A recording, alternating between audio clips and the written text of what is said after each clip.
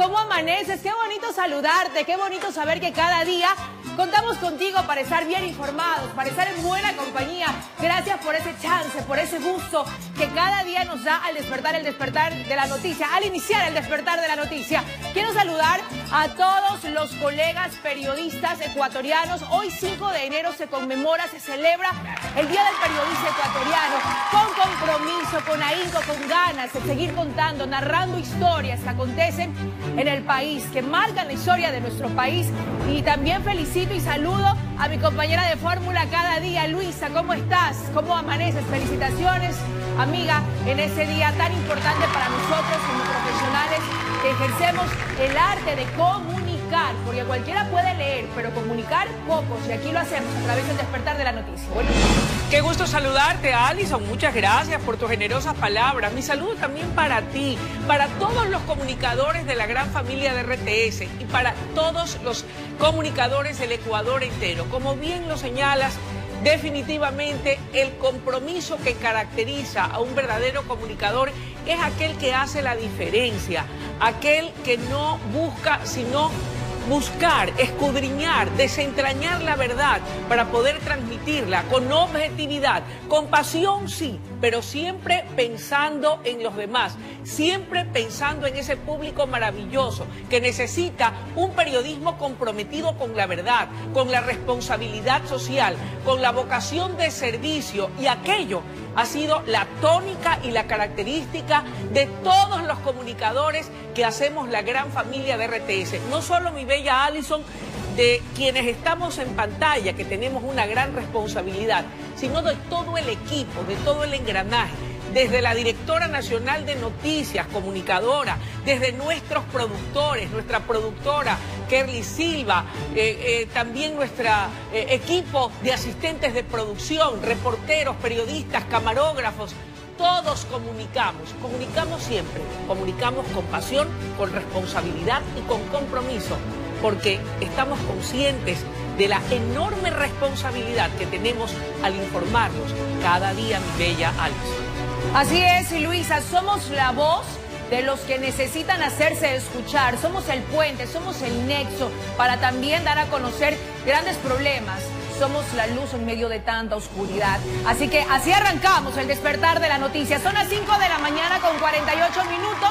También hoy en muchas empresas, en muchas unidades educativas, Luis, el día de mañana es 6, Día de Reyes, sí, pero como muchos no trabajan, muchos no van al colegio, muchos no estudian los sábados, se traslada para hoy la rosca de Reyes, el chocolatito caliente, la chocolatada para ya cerrar con broche de oro las festividades por Navidad y por fin de año. Así que aliste, si no ha hecho nada de planes en la oficina, vaya llevando pues un litro de leche, ñañita, vaya llevando un dólar de pancito así sea de canela, que tenga un poquito en la panadería más cercana, que huela riquitito y haga un desayuno especial con sus compañeros, con amigos, en el lunch. Hagamos sentir ese Día de Reyes con ese verdadero significado, que es realmente el alumbramiento, el conocimiento, cuando ya todo el mundo llegó a conocer al Mesías, a Jesús de Nazaret, y realmente para nosotros, los que somos cristianos católicos, realmente significa muchísimo.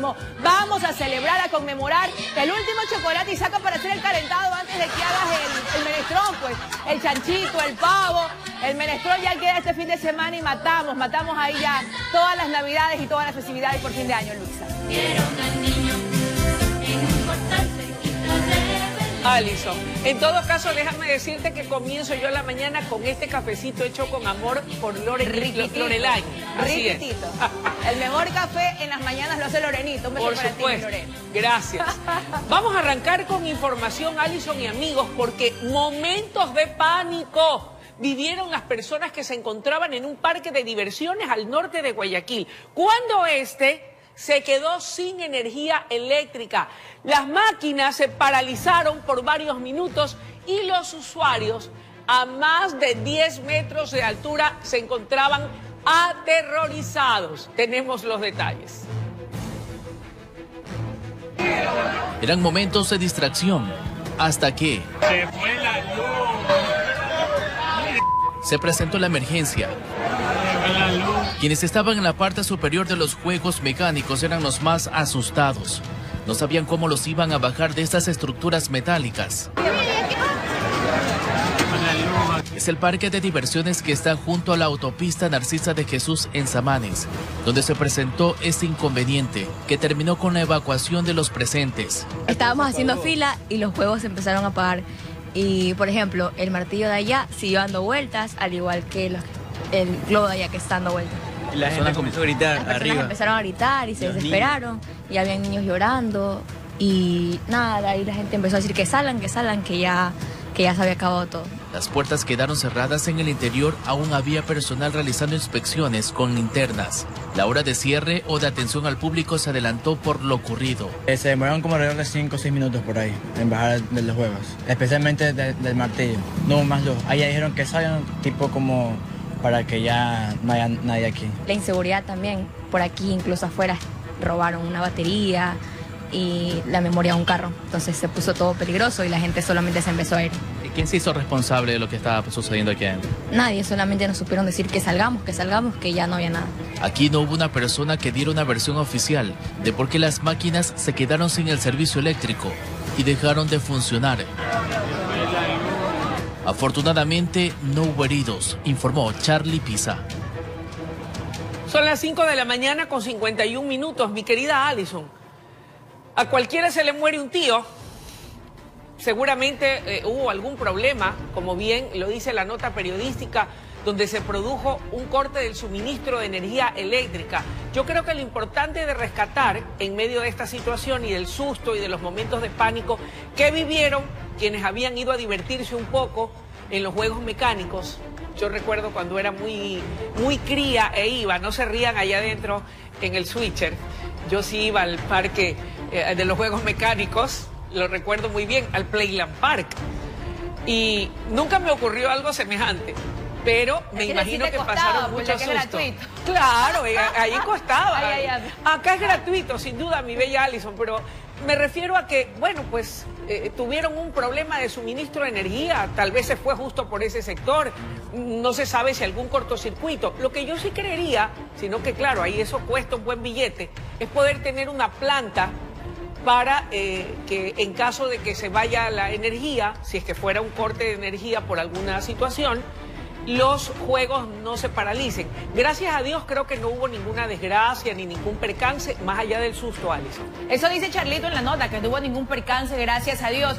Cosas que pasan en el barrio fino. Yo también recuerdo que me iba al Playland Park, me fui al Cholampar, esos que ponían en el sur, al gusanito en el barrio también, me subía. Realmente fueron momentos inolvidables, momentos memorables de la infancia. En todo caso, lo que sabemos, está ubicada en el Parque Samanes, la entrada era gratuita, sí había estado desarrollándose muy bonito, muy colorido, hasta que se fue la luz en todo el barrio, en todo el parque. Y mira lo que pasó. ¿Sabes una cosa? Cuéntame. Antes de, de inmediato dar paso a un comunicado eh, del CNE, eh, quiero decirte, CNEL, perdón, quiero decirte que el primer juego mecánico que era muy popular y muy conocido en Guayaquil era ¿Cuál, el de la Macarena. Oh, ¿Y ¿cómo sabes dónde quedaba la Macarena? ¿Cómo- dónde quedaba en el patio de la Casa de la Cultura, en pleno centro de Guayaquil. Y habían unos juegos muy lindos, si eran pagados. Y aquí esta servidora habrá tenido unos 5, 6, 7 años cuando ya yo iba a la Macarena. Y tú ya querías trabajar en televisión entonces, porque Jamás era me lo hubiese imaginado, claro que Ñañita sí. linda. Entonces de ahí se empezó a emular que en los centros comerciales Así también es. hayan juegos mecánicos. Así Dale es. a tu cuerpo alegría, Macarena. Así es, qué gratos recuerdos, qué gratos recuerdos rememora en mi mente y en mi corazón. Bueno, ahora sí vamos a dar lectura al comunicado de CENEL a ¿Qué propósito pasó? de lo que ha ocurrido, Alison y amables televidentes. Voy enseguida a dar lectura a este comunicado que dice lo siguiente.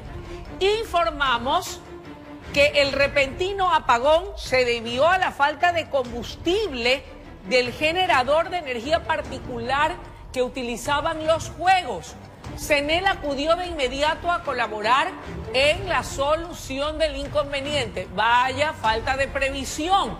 Entonces no tenían el combustible, Allison y amables televidentes, para eh, dar eh, paso a eh, el generador de energía eléctrica que deben tener para enfrentar o capear el temporal cuando hay estas emergencias. Senel ha de haber ido tan rápido, así como cuando tienen que hacer la reconexión de la luz, que tú pagas en la mañana y llegan a reconectarte en la noche. Pero bueno, ahí nomás, ahí nomás, está el comunicado ya de forma oficial por parte de Senel. Son las 5 de la mañana con 55 minutos, pila y mosca, porque vienen nuestros titulares, lo que te vas a servir a esta hora a través del despertar de la noticia.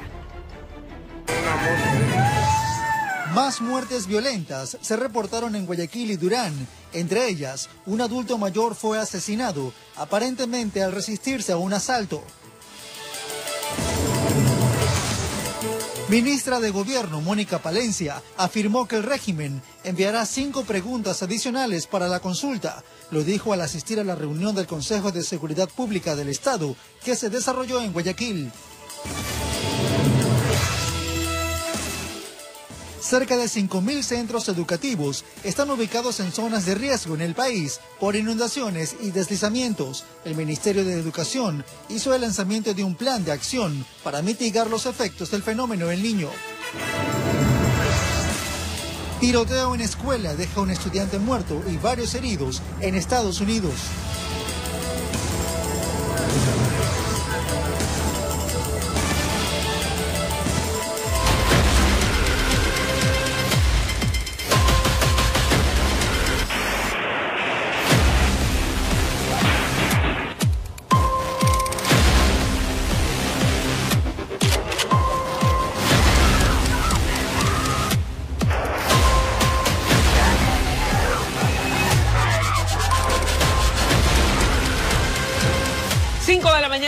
57 minutos, amables televidentes, trascendió que dos mujeres habían sido secuestradas en horas de la madrugada, pero que luego fueron liberadas.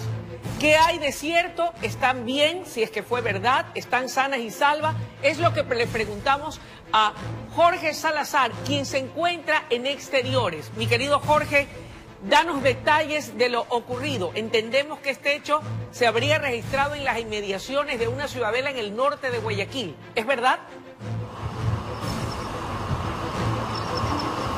Luisa y amigos, eh, buenos días. Así es, todo inició ayer en horas de la noche en la ciudadela bolivariana frente a la Universidad Guayaquil en el centro norte del puerto principal. Dos chicas a bordo de un auto color gris que dejaban a una de sus primas en un domicilio ubicado acá, en este sector, eh, fueron interceptadas por otro vehículo color concho de vino, de donde se bajaron al menos cuatro sujetos fuertemente armados, quienes procedieron a raptarlas. En ese momento, habitantes del sector y familiares de las chicas, pues, alertaron la novedad al EQ 911 quien reportó a la Policía Nacional.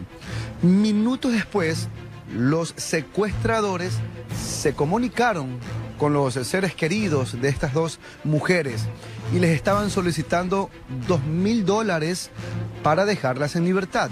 A la par, la Policía Nacional inició un operativo de búsqueda que demoró más o menos una hora y logró rescatarlas sanas y salvas en la avenida Casuarina, a la altura del Fortín, en el noroeste de Guayaquil. Ellas estaban en su mismo carro y eran custodiadas por los malhechores, quienes al percatarse, al notar la presencia de la policía, procedieron a huir, finalmente logrando escapar.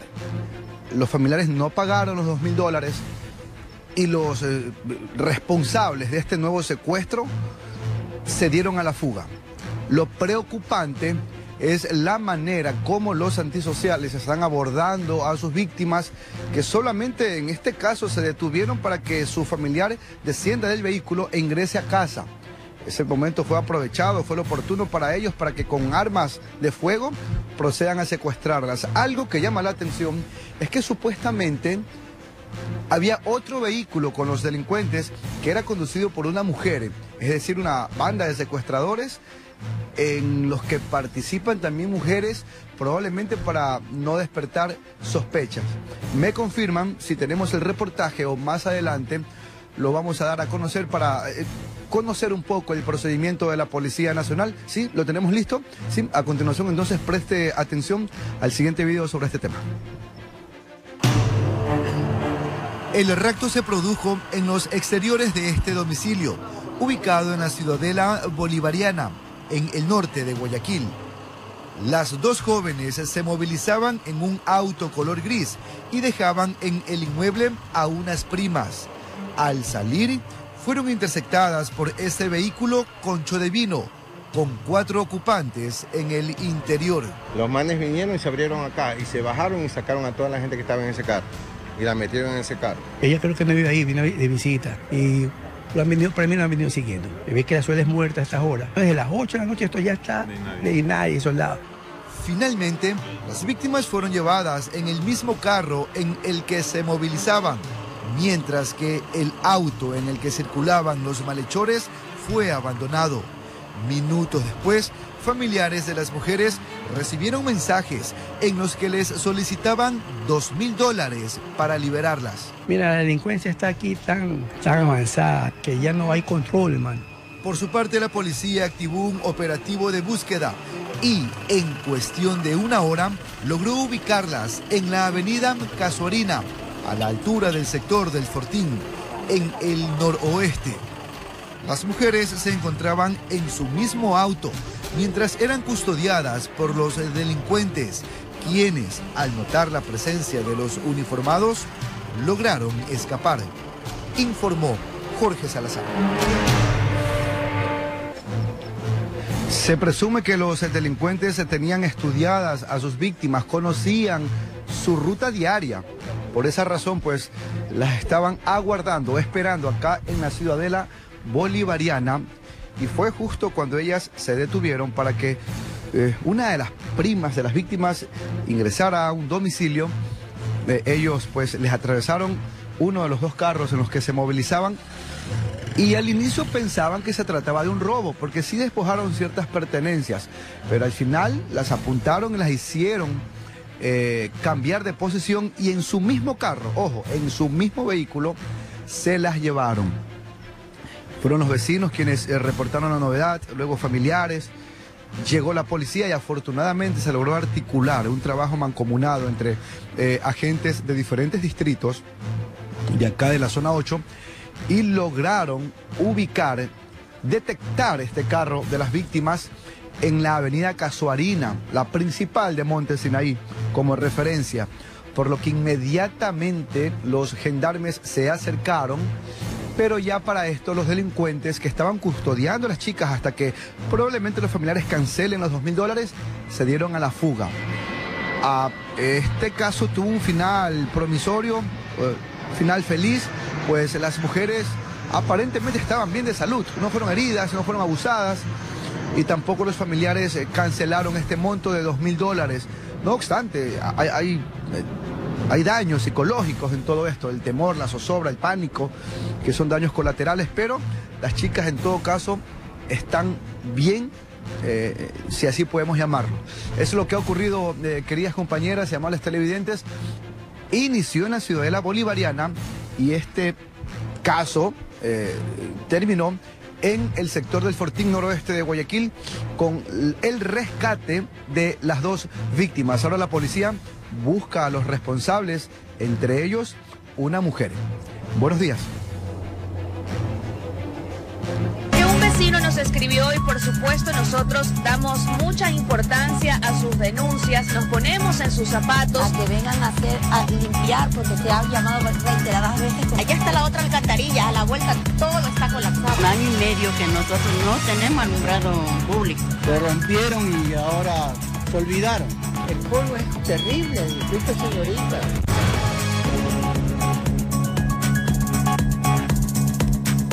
Bueno, son las 6 de la mañana con 4 minutos y no solamente es el tema de las extorsiones, el tema de las vacunas, sino también el tema de las denuncias. Vamos inmediatamente a nuestra mesa de denuncia. Como cada día, habilitada el 096 958 5650, pero voy a transformarme. Vamos a transformarnos porque aquí estamos las chicas de la denuncia, pilas. Así que Adriana ya está en exteriores. Adriana está en exteriores para... Ahora sí. Adriana, buenos días, date la vueltita, ñaña, porque nos vamos a transformar. Ya estamos en modo denuncia. Ya nos pusimos en el modo denuncia porque Hay problemas en el barrio, los vecinos reportan, nos cuentan y ahí llegamos nosotros, mi Adri querida. ¿Cómo estás? Hola Alison, ¿qué tal? Saludos, gracias por estar con nosotros a esta hora de la mañana. Bueno, te comento que estamos transmitiendo desde la Cooperativa Autoridad Portuaria como referencia por el sector de las acacias sur de Guayaquil. Y un problema muy grande, por eso ustedes pueden ver cómo la comunidad se ha organizado para pedir una respuesta inmediata, porque ya no pueden soportar más. ¿Qué pasa? Eh, tienen un problema con el alcantarillado, no hay desfogue aquí por esta cooperativa, entonces se viene acumulando, se viene acumulando este problema y todavía no tienen una solución. ¿Qué ocurre, caballero, para que usted nos pueda detallar? Niña, muy buenos días. Agradeciéndole la presencia porque estoy seguro que ustedes van a lograr que nos reservan este problema de años. Como usted observará, aquí esto es simplemente un panfleto, por decir así, porque esto no tiene desfogue. Lamentablemente en el interior de nuestra cooperativa no hay sistema de drenaje de aguas lluvias. Todo se acumula hasta acá y esto está tapado. Está tapado. Si usted verá gente que hizo este canalón como para supuestamente conectarnos en el sistema allá, pero no se puede. Entonces, imagínense, ya se viene la, la temporada de lluvias, la mitad de la calle se nos inunda y como no hay desfogue, proliferan los insectos, los malos olores y eso ocasiona enfermedades para nuestros hijos. Aparte del problema que tenemos con la basura, imagínense. Entonces, Cabe recalcar que no es que los vecinos de esta zona, de esta cooperativa al menos, disponen de los desechos a cualquier hora, no respetan los horarios, sino que vienen de otras partes y aquí se acumula la basura, lo que también provoca que se tape ahí. Correcto, niña. Gracias a Dios nuestra cooperativa está bien organizada, tenemos un comité y nos encargamos de comunicarle a los habitantes el momento que llega el camión. Entonces, por el lado de nosotros no hay ningún problema. Lamentablemente, por la inseguridad, cerramos las puertas de nuestra cooperativa y gente particular que pasa por aquí en camioneta nos lanza la basura. Aparte de, esas personas, los indigentes que se encargan de abrir, romper esa funda, y eso es lo que ocasiona más problemas con, el, con la cuestión del, del desalojo del agua. Eh, la señora por acá me comentaba, ¿cómo está amiga? Buen día. Eh, ustedes ya han hecho un llamado, vino Interagua, vino EMAPAC, ¿qué pasa con la respuesta de las autoridades? El 23 de diciembre eh, tenemos las fotos ahí que vinieron los señores de Interagua, vieron el motivo, dijeron que iban a hacer el informe, pero hasta el día de hoy vemos ninguna respuesta, como usted ve aquí. ¿Sí? abrieron las tapas, se dieron cuenta y metieron, este, bueno, hicieron todo, su trabajo y estamos en espera. Pero esto no es la primera vez, ya nosotros muchas veces hemos llamado. Como moradora que soy del sector, tengo que hacer yo la, todo el trabajo, la, la solicitud, porque soy la que estoy más perjudicada. Entonces ellos, la más cercana, y estamos en espera. Y como dijo el vecino, aquí nos llenamos de ratas, Avancemos para también poder graficar allá adentro. ¿Este problema también ya se siente en el interior de las casas? Correcto. A media mañana no se puede ya, dice uno, sentarse en la mesa o a la hora que ya uno viene de trabajar porque el, mal olor es muy fuerte, los moscos también. Eh, cuando vienen aquí las personas que proveen eh, con su comida, a veces bota desperdicio de agua, eso se emposa. O sea, tampoco no depende de ellos, pero es el problema que también nos, nos pasa. Es lo que nos decía la señora, que como en esta parte no tienen ningún desfogue, todo llega hasta afuera y eso está tapado. Cuando se llueve el agua llega hasta acá adentro, entonces no podemos entrar. Ahorita está barrido, mira, pero igual, si usted ve el drenaje no avanza, se queda hasta aquí. Lo mismo del lado de allá. Entonces, solamente la única alcantarilla es esa y venimos desde allá, en una L. Entonces imagínense la cantidad de agua. Sí, y esto ya viene hace mucho tiempo, desde que yo soy habitante más de treinta y pico de años, tenemos este problema de aquí, no vemos mejora, los bordillos lo mismo que cuando nosotros iniciamos, y bueno, seguimos con el problema. Por eso que tienen carteles, necesitamos drenaje de aguas lluvias, problema de muchos años y piden que le den solución finalmente. Así es, señorita, muchas gracias por estar aquí. Pero lo que necesitamos es urgente porque como dice nuestra amiga pues y vecino, esa esquina de allí se llena de mucha, se empoza el agua, hay mucho mosco, mucha rata, entonces todo eso hace daño y perjudica, no solamente a los adultos, sino más a los niños. Tenemos bastante niños, queremos esa solución lo más pronto, drenaje de esas de las lluvias, ¿no? Como ya eh, han venido, ya conocen la problemática, es decir, que no se deje pasar más tiempo, sino que ya lleguen con un plan y que empiecen a ejecutar la obra para que ellos no sigan sufriendo de este inconveniente. Es el reporte que tenemos a esta hora. Más adelante, pues volveremos a hacer contacto. Mientras tanto, ustedes tienen más noticias. Buen día. Adriana, pues este problema es un problema común, pero sí genera no solamente una contaminación ambiental, si hablamos ya eh, a grandes problemas. Puede ser un problema por falta de mantenimiento, por falta de limpieza, por falta de una reestructuración o por trabajos mal hechos en cuanto a la cantidad de residuos que se genera y no hay la el, el lugar eh, suficiente o grande o amplio para que haya un desfogue de todos estos residuos. Estos hedores o estos malos olores se acentúan y ahí es que se genera la contaminación ambiental, sobre todo con las temperaturas que Guayaquil vive los 365 días del año. Lo que experimentamos los guayaquileños por lo general son temporales de calor en la ciudad. Así no se puede. Yo los invito temprano a los, a los trabajadores, a mis compañeros del servicio público, que se levanten, pero se levanten a trabajar, muchachos. Por favor.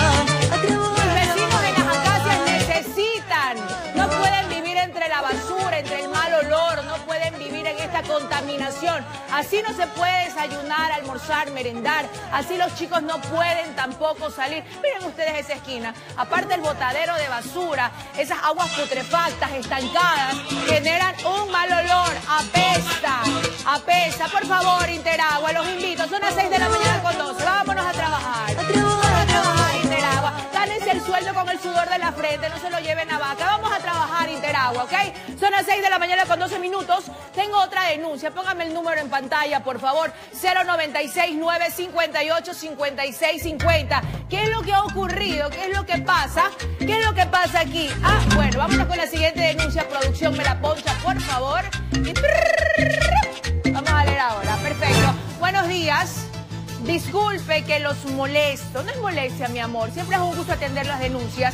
Pero creo que ustedes son la esperanza que nos, son las esperanzas o la esperanza que nos ayuden con estas calles. Tenemos años y no la solucionan. Este sitio se llama Lomas de la Florida, Manzana 906.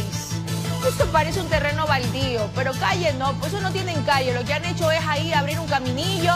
Es como que vaya yo a la finca de mis tíos en el campo, allá por el recinto de Los Ángeles, pasando el zapote por Simón Bolívar. Así creo yo que están hasta mejores los caminos por allá que aquí. Esto es en Lomas de la Florida.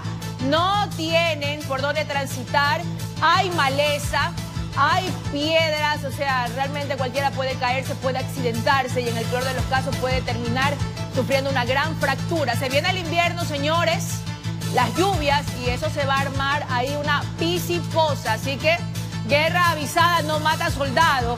Gracias por enviar su reporte, por ese videíto. Calles en pésimas condiciones, intransitables. Punto final. Tim, Luisa, tú tienes más. Sí, Alison y amables televidentes, presten mucha atención porque un hombre se salvó de morir luego de ser atacado por sicarios en la vía Adaule. En otro caso ocurrido en la 11 y Sedalana, en el suroeste de Guayaquil, un sujeto murió tras recibir varios impactos de bala. Hasta la 11 y Sedalana, suroeste de Guayaquil, llegaron sicarios para causar temor a los habitantes del barrio, que tras escuchar las detonaciones de las armas de fuego, se percataron que el hombre, de aproximadamente 30 años de edad, tenía los impactos de bala en el rostro. Los moradores del sector le indicaron a los agentes policiales que no vive en el lugar, por ello ahora indagan la identidad del occiso. En la escena del crimen se levantaron tres indicios balísticos. Hasta el momento no se han acercado familiares ni nada a reconocer. Testigos en forma reservada brindaron datos a los oficiales de DINASET sobre cómo ocurrió el suceso. Una tricimoto han venido con el ciudadano, lo han bajado y ahí lo han, ocasionado los disparos. Otro hecho sangriento se perpetró simultáneamente cerca del lugar donde un hombre también fue baleado. Hay un herido también que está en el hospital Guayaquil con estado crítico. Pero de este mismo caso. No, es en la octava y Francisco Segura se suscitó. Horas antes, en la vía Daule, un ciudadano que se movilizaba en un automotor fue interceptado por dos motocicletas. Los sicarios dispararon varias veces, La víctima quedó herida por lo que fue llevada al hospital. Una de las motos utilizadas para cometer el hecho violento quedó en el lugar. En este caso la víctima aparentemente en vista lo que es la otra motocicleta. Y al momento que vean a la Policía Nacional, envisten en precipitada carrera en dirección desconocida igualmente. La motocicleta igual a la que se encuentra presente de, posiblemente está inmiscuido en el hecho. Las unidades investigativas y de inteligencia de la Policía Nacional cumplen con las indagaciones de estos casos para dar con los responsables. 6 de la mañana con 15 minutos, más información para ustedes. Un taxista fue secuestrado en Esmeraldas. Los delincuentes pedían por él 5 mil dólares para liberarlo e incluso grabaron un video de cómo lo asesinarían. Miren ustedes estos miserables. Afortunadamente la policía logró rescatarlo. Hay una persona detenida. Tiene hasta las 12 para que deposite esa plata si no te lo mato ahorita. Esmeraldas. Los delincuentes hicieron esta grabación. Hay un hombre en el suelo. Lo apuntan con un arma en la cabeza y un cuchillo en la espalda. Dan la hora y hacen la advertencia. Son las 11, las 10.53. Tiene hasta las 12 para que deposite esa plata si no te lo mato ahorita, que le caso la cabeza. Ese video lo enviaron los mismos antisociales a la familia del taxista. Y es que al afectado se le acercó una persona, le solicitó una carrera, la realizó desde la terminal terrestre de Esmeraldas hasta Muisne. Sin embargo, al llegar al sector de Tres Cruces, desde la maleza salieron cinco individuos, quienes procedieron a llevárselo en contra de su voluntad. Procediendo a secuestrarle, maniatarle, vendarle los ojos y ponerle a un lado de la, de la maleza y pedir un rescate a los familiares. Es así que pedían el rescate de 5 mil dólares por la persona y 10 mil dólares por el taxi. Nacional, Policía Nacional. Alto, no se mueva, no se mueva. Quieto. Al piso, al piso, al En piso. un momento rescatamos al secuestrado. El eje investigativo de la policía se activó y lograron rescatar a la víctima. Estaba en una zona boscosa, tuvieron dificultad para llegar. Y cuando procedieron a rescatarlo justo por allí, estaba uno de los antisociales a bordo de una motocicleta quien fue detenido. Sí, efectivamente la persona que conducía la moto es uno de los implicados, se le encuentran en su poder dos armas blancas, tenemos del taxi recuperado el conductor que se encuentra con vida, Los uniformados levantaron las evidencias y el único capturado fue puesto a órdenes de las autoridades competentes a la espera de saber con quiénes más operaba y si tienen en su accionar más víctimas que contabilizar. La policía los busca. Me tiene hasta las 12 para que deposite esa plata si no te lo mato ahorita. Informó Marilyn Caramillo. Tranquila, Bessie, que esto no es una película de terror, estos son casos de la vida real. Son historias que ocurren ahorita en la provincia verde. Qué doloroso, qué lamentable, porque esta pandemia criminal está acabando con nuestras ganas de querer salir adelante, con trabajo, con negocio. Imagínense 15 mil dólares. Mi amigo taxista que todos los días madruga, que se queda hasta tarde, por cierto, 73 cordiales, si usted es taxista, tenga mucho cuidado. ¿A dónde dirige la carrera? Analice el sector, a dónde va, en cualquier rincón del país. ¿Cómo va a tener 10 mil dólares para rescatar el taxi y aparte 5 mil dólares por la vida del ciudadano, de mi vecino taxista? ¿De dónde uno va a sacar plata? ¿Debajo de las piedras? Si la gente que ustedes están secuestrando, en este caso, gente que no tiene, gente que vive del día a día, un taxista tiene que salir a trabajar todos los días para poder dejar la plata, los 5, los 6 dólares para el almuerzo en su casa. ¿Hasta cuándo, padre Almeida? ¿Hasta cuándo? Ya vamos, ya, ya queremos decir, ya queremos contar, queremos narrar que ya capturaron a estos delincuentes, que ya cogieron preso y que están en cana y que están pagando ya su condena estos infelices. Pero no podemos vivir ya con el temor cada día. Acaban con nuestros negocios, con nuestros trabajos. Así nadie quiere salir a la calle a trabajar. Por favor, asunto, autoridades, pronto que ese plan ya se ejecute porque ya estamos cansados, estamos hartos y tenemos miedo. Son las 6 de la mañana con 19 minutos y cambiando de tema. a otro también muy importante que tú tienes que saber. Quiero contarte que tras identificar un falso positivo en una compota de mango, la Agencia de Control Sanitario suspendió el análisis de productos con sospechas de plomo en su laboratorio, noticia que se ha viralizado durante estos días. Sin embargo, continuarán con dos proveedores calificados. 77 son las muestras que están bajo la lupa y en una compañía hubo dos alertas en embutidos y mezcla para preparar conos. Veamos. La contaminación con plomo se produce por falta de higiene o mantenimiento en las máquinas. Este es el laboratorio de la ARXA, donde efectuaron los primeros análisis tras la alerta de la FDA en purés y elaborados con canela pero hubo un falso positivo en una prueba de compota de mango. El administrado en su derecho a la defensa y la ARTS en búsqueda de garantizar transparencia en el proceso y en ese nuevo análisis en un laboratorio externo se confirmó que estos productos que no contenían canela no estaban contaminados con plomo. Suspendieron por ello los análisis en su planta ubicada en el INSPI. Ahora contratan a los dos únicos proveedores calificados a nivel nacional una empresa demostró que tres productos nunca entraron al mercado local. Su distribución y comercialización exclusivamente fue realizada en el mercado internacional, en este caso Estados Unidos. Al momento, los 926 productos han sido categorizados como riesgo alto. Hasta la fecha se han hecho 77 muestras, 42 bajo sospecha en dos compañías hubo dos alertas en diferentes productos, también de consumo masivo. Morcilla tipo 1 embutidos oro y la premezcla para preparar conos sabor a vainilla se han dispuesto el retiro inmediato del mercado, la inmovilización adicional a las sanciones que pudieran ameritar. Pondrán una denuncia en fiscalía. Exhortó a las universidades para ampliar la capacidad instalada hasta que se logre rehabilitar el laboratorio cuya última inversión estatal fue 60 mil dólares, informó Jorge Escobar. 6 de la mañana con 22 minutos, el presidente de la República, Daniel Doboa, cumplió agenda en Guayaquil, donde se llevó a cabo la reunión del Consejo de Seguridad Pública del Estado. La ministra de Gobierno, Mónica Palencia, quien acudió a la cita, afirmó que el gobierno enviará cinco preguntas adicionales al referéndum.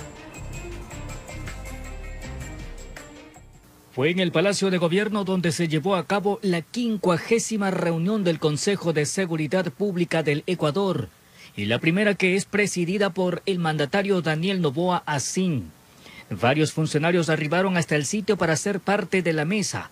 Una de ellas fue la ministra de Gobierno Mónica Palencia. En torno a la consulta popular, Palencia manifestó que recibió directrices del presidente asegurando que hay la posibilidad de incluir nuevas preguntas cinco preguntas más, por lo menos, van a ser presentadas también. Entonces, eh, él está, obviamente, con él vamos a discutir cuáles serían esas preguntas. Y ante las críticas realizadas a las preguntas, el secretario de Comunicación de la Presidencia aseguró que la pretensión es obtener mayor fuerza a través del respaldo popular.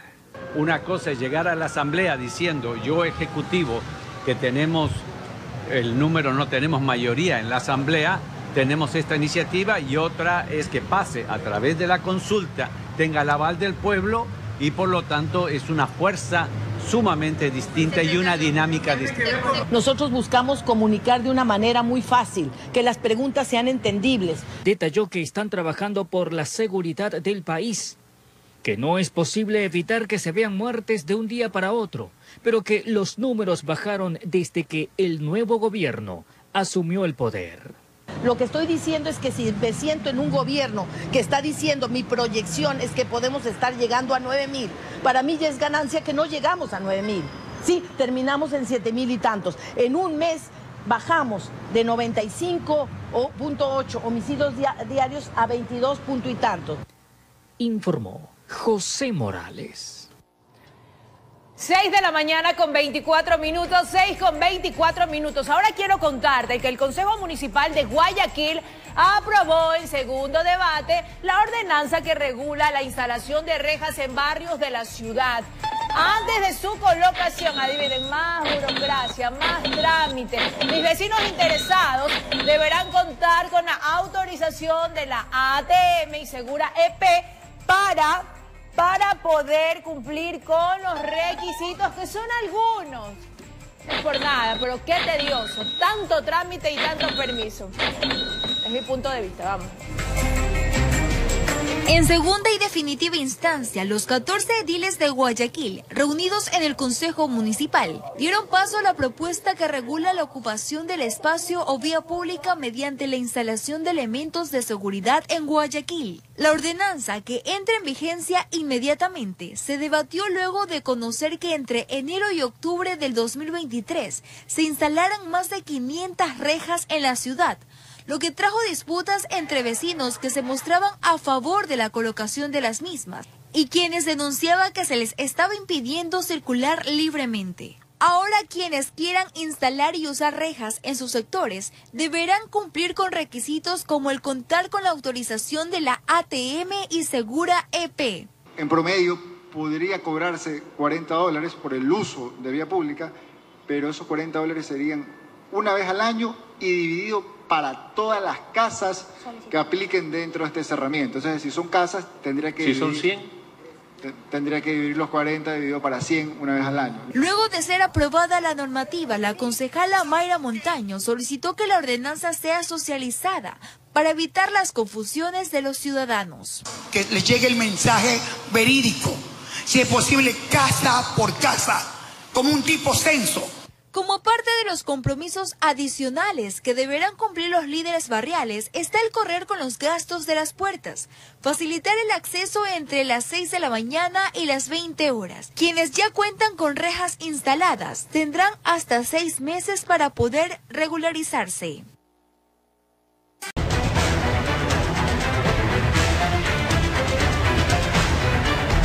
6 de la mañana con 33 minutos y algo que veníamos anunciándote. Un infante de nueve meses murió presuntamente por maltratos al norte de Ambato, en Tunguragua. Su madre sería la responsable o la principal sospechosa que ya fue detenida por la policía. En la audiencia de formulación de cargos, el juez le dictó prisión preventiva. Veamos esa dolorosa historia.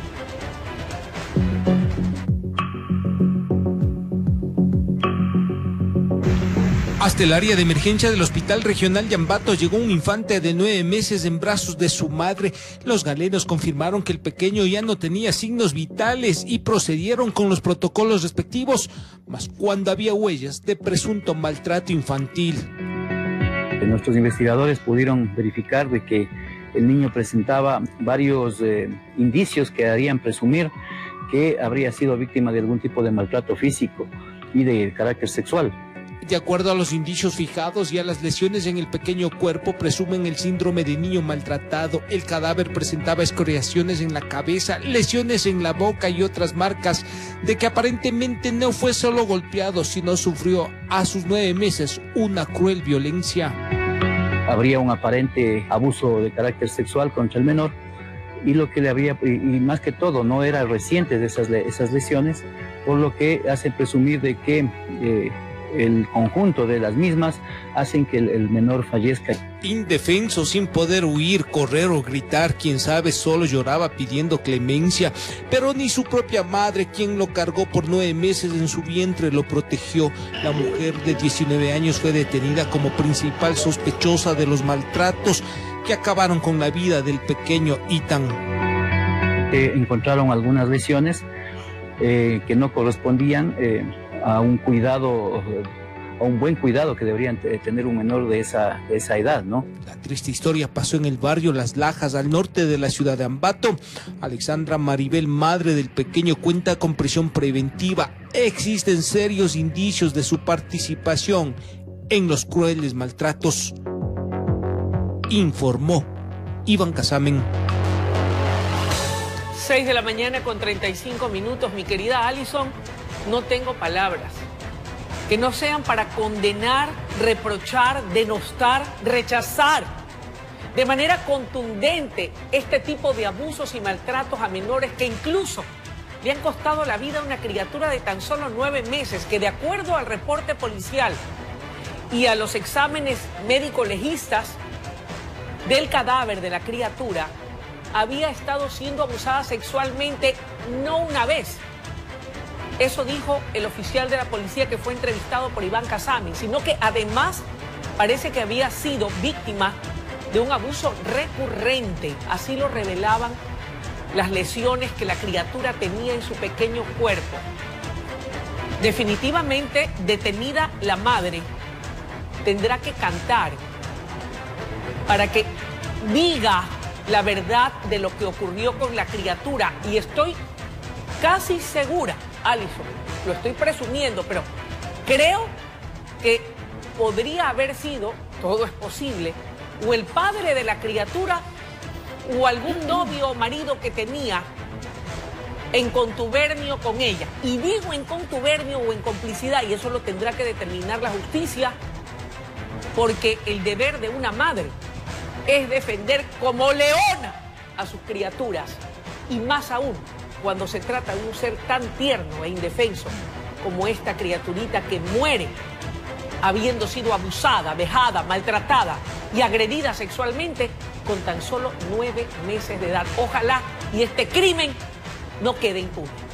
Sabes que no me quiero referir al tema de la edad de la madre, porque es una mujer bastante joven, porque no es el tema de la edad.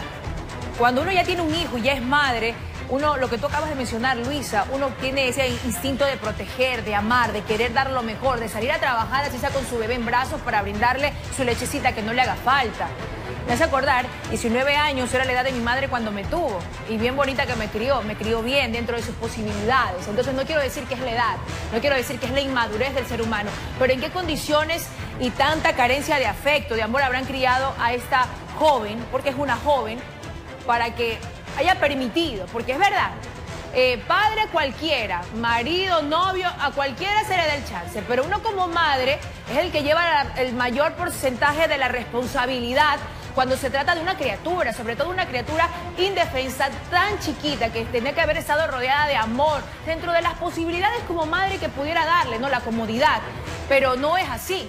Quiero pensar que de pronto esta joven también tenía problemas mentales porque hacerle daño a, a tu propio hijo, o sea, que nace de tus entrañas, que, que a uno le duele tener sus hijos. Y no hablo solamente del dolor físico, hablo de todo lo que, lo que lleva, conlleva tener un bebé.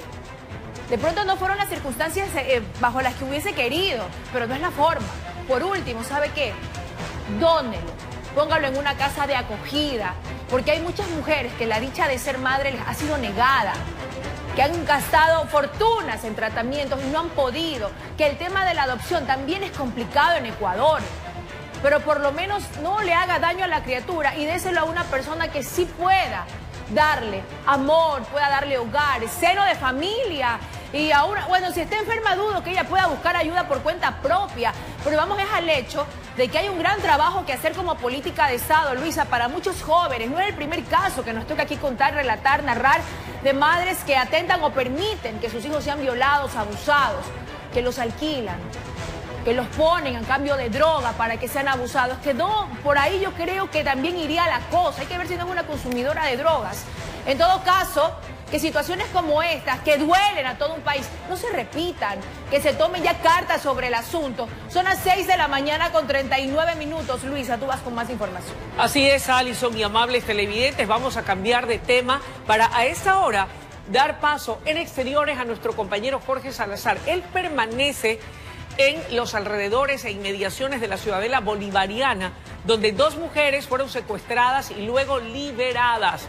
Tú decías en tu primer reporte, mi querido Jorge, que eh, aparentemente las chicas estaban en óptimas condiciones.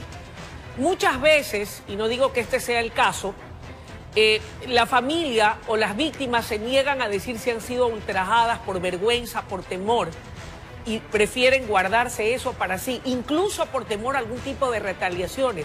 Quiera Dios que no sea este el caso, porque no quiero ni imaginarme lo que las dos mujeres pasaron a manos de sus captores las horas que las tuvieron secuestradas.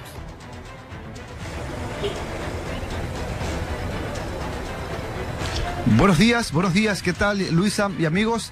Correcto, correcto. Pasan, pasan estas cosas. Eh, en todo caso, vamos a ver si de repente fueron sometidas a algún tipo pues, de, de examen, de análisis por parte de los médicos de la Fiscalía y Policía Nacional para corroborar algún tipo de abuso, algún tipo de agresión de esta índole sexual. Ah, les cuento que acá en la ciudadela bolivariana, frente a la Universidad Guayaquil, en el centro norte del puerto principal, existe mucha preocupación. Mencionan que durante años, decenas de años, este sector ha sido considerado como un lugar eh, de paz, una zona segura, tranquila, pero que ya desde hace algunos años todo se está pervirtiendo. Empezaron con eh, el tema de robos, asaltos, y ahora ya se están generando los secuestros. Y esto pues mantiene preocupados a sus habitantes con lo que pasó ayer en horas de la noche, que finalizó en la madrugada con el rescate de estas dos jóvenes. Eh, la gente exige a la Policía Nacional realizar más patrullajes para que de esta forma los delincuentes no continúen cometiendo este tipo de delito que se está poniendo de moda, y no solamente en este sector, sino en todo el país.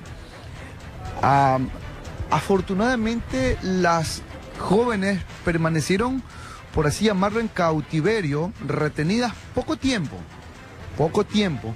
O sea, no fueron de repente rescatadas dentro de una vivienda, estaban encerradas, amarradas, ultrajadas, aún estaban en su carro. Eh, probablemente eran custodiadas por los delincuentes en la avenida Casuarina. Eh, a diferencia de otros casos, minutos después del, rapto, los antisociales se comunicaron con familiares de ellas, probablemente a través de los dispositivos móviles de ellas, de, las víctimas, y estaban solicitando dos mil dólares, que aunque no es poco, tampoco es tanto como en otros casos suelen pedir, para liberarlas. Y durante esta posible o supuesta negociación, la policía se les adelantó y los sorprendió a los delincuentes en la avenida Casuarina, a la altura del Fortín, noroeste del puerto principal. Habían más personas al momento del secuestro, estaban familiares de las dos jóvenes. Ellas supuestamente habían dejado o estaban dejando a una prima en un domicilio acá, en este sector, junto a otros seres queridos. Y fueron interceptados todos por este auto concho de vino, el cual fue abandonado por los malhechores y que supuestamente eh, este vehículo fue utilizado para cometer otros delitos como robos y asaltos, pero hasta la madrugada no confirmaban que el automotor había sido quizás sustraído en otro sector. Ese reporte desde acá, eh, Ciudadela Bolivariana, en el puerto principal acerca de este último secuestro de dos mujeres que afortunadamente la policía logró rescatarlas con vida. Vamos a un corte comercial y ya venimos con más noticias.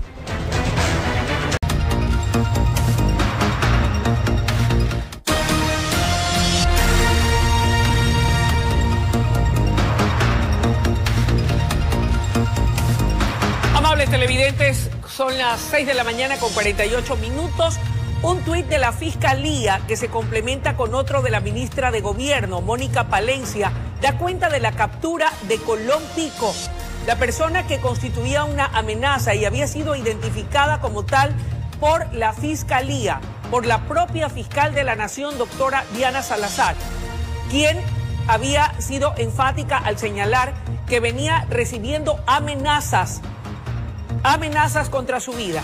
Eh, uno de los tweets, ahí tienen ustedes en pantalla, es el de Fiscalía Fabricio Colón Pico, fue detenido esta madrugada en un operativo ejecutado por Fiscalía y la Policía del Ecuador en el norte de Quito en el marco de una investigación por el presunto delito de secuestro.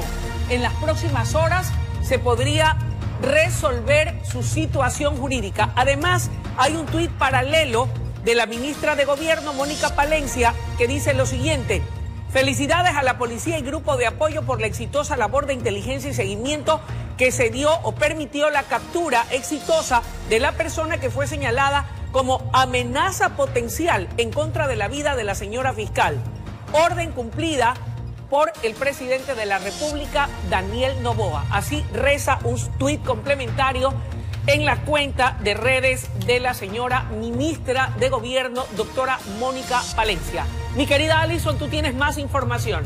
En efecto, Luisa, son las 6 de la mañana con 50 minutos, 6 con 50 minutos en este viernes 5 de enero. Adriana Peralta está en exteriores porque hay un fuerte operativo policial. Adriana, ¿dónde te encuentras? Y cuéntame si ya existe alguna novedad en ese operativo que desde muy temprano en algún sector de la urbe se está dando. Adelante, te damos paso. Sí, Alison, y es justamente lo que la gente requiere, necesita, que se desarrollen operativos prácticamente a toda hora del día y en distintos sectores, sobre todo los puntos que la Policía Nacional ha identificado como los más conflictivos.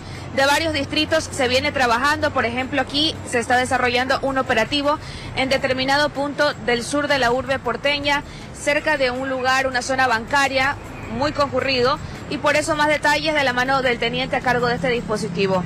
¿Cuáles han sido los resultados de estos operativos que se han desarrollado en el distrito en los últimos días, teniente? ¿Cómo le va? ¿Cómo está? Buenos días. En el distrito se han venido realizando diferentes operativos con el fin de ubicar eh, motocicletas, vehículos eh, eh, robados, de igual manera con el fin de ubicar a personas posiblemente sospechosas. En el distrito hemos tenido algunos resultados de esta semana donde se ha localizado alrededor de cuatro motocicletas reportadas como robadas. También hemos tenido personas aprendidas en, el circuito Malvinas Sur. Y, ¿Qué tipo de delitos fueron aprendidas? Eh, por el delito de, robo a motocicleta. Así es. De igual manera me es necesario recalcar que eh, en torno a los hechos violentos suscitados el día de ayer aquí en el distrito, eh, donde existió una persona fallecida, eh, una persona de sexo masculina fallecida en el sector de Esteros y tres personas heridas de sexo masculino en, el sector de la Trinitaria Sur. Eh, eh, por este tema se han venido intensificando los operativos en nuestro distrito, en los diferentes ejes viales, en las perimetrales, con el fin, de igual manera, de parar los vehículos, en donde se solicita la, documentación referente haciendo uso de nuestra herramienta CINE de la Policía Nacional para igual manera con eso verificar los documentos que nos entregan, la documentación de, las personas, los vehículos, de igual manera tratar de, localizar, eh, ubicar decomisar armas blancas, armas de fuego, sustancias sujetas a fiscalización. Como estamos viendo, ahora yo le quería preguntar lo siguiente, se han dado varios casos ya y ahora que se está incrementando el delito de secuestro, pues por lo general lo que se ha identificado es que utilizan carros que han sido robados. ¿Qué se sabe de aquello? Por ejemplo, ustedes aquí en este distrito también han notado que se han robado carros para cometer este tipo de delitos como secuestro. Obviamente, como le, informaba hace un rato, eh, las motocicletas eh, que le mencionaba han sido unas eh, reportadas como robadas y otras plaqueadas. Por ejemplo, eh, hace dos días encontramos, encontró una motocicleta plaqueada. ¿Qué quiere decir? Estaba esta motocicleta eh, con otra placa, ¿sí? tenía otros datos y, ese, ese, ese es el, y esos son los vehículos que ocuparían estas personas, ocupan estos vehículos para cometer los hechos delictivos. En fin, obviamente tratan de evadir el control policial. Por eso se realizan estos operativos donde se podría localizar. Nosotros no simplemente eh, eh, pedimos un documento y revisamos nada más, igual tenemos que revisar eh, muchas veces chasis, obviamente enfocándonos a personas que sean sospechosas, ¿no? Muy bien, muchísimas gracias por la información. Aquí pueden ver cómo están realizando todavía la inspección en este punto del sur de la ciudad. Nos vamos a un corte comercial, ya regresamos de inmediato con más información.